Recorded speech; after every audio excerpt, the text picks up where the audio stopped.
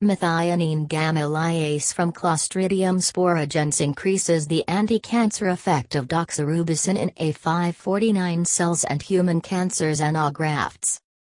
Via latest results for investigational new drugs.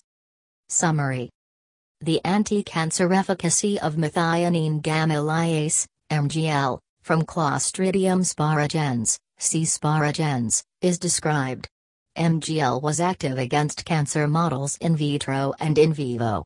The calculated EC50 values for MGL were 4.4 U, ml for A549, 7.5 U, ml for ASCABR3, 2.4 U, ml for SCOV3, and 0.4 U, ml for MCF7 cells. The combination of doxorubicin, DOX, and MGL was more effective for A549 human lung cancer growth inhibition than either agent alone in vitro and in vivo. MGL reduced the EC50 of doxorubicin from 35.9 μg per milliliter to 0.01 to 0.265 μg per milliliter.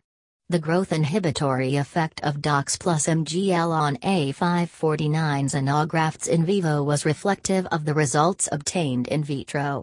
The inhibition rate of tumor growth in the combined arm was 57%, significantly higher than that in the doxorubicin, p equals 0.033 alone arm. ADTAGs, currently, A, medicine by Alexandros G. Sfakianakis,